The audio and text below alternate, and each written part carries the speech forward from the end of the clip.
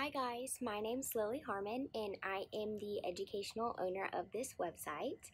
Um, the basis of this website that we were asked to create was to help illustrate and share with our viewers what our passion is.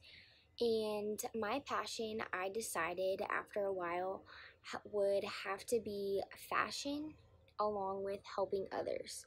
So, how I like to explain it and incorporate it is that self image, clothes, and everything fashion wise are really important to me, and so is helping others feel good about themselves. So, what I hope to do in the long run is own my own clothing store.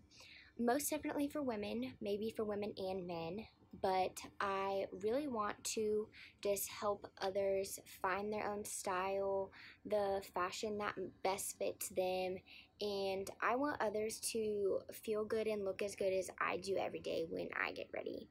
I'm not saying every day is perfect and every day every day I feel really great in my own skin, but I do think that self-image is really important and I really really put a lot of thought into what I wear every day. Not in a bad way, but I feel that when I put on an outfit and I feel good when I'm wearing it, therefore I look good, I feel good.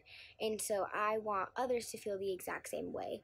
I took the approach in my website basically to illustrate all of that like what is fashion? What is my definition of fashion?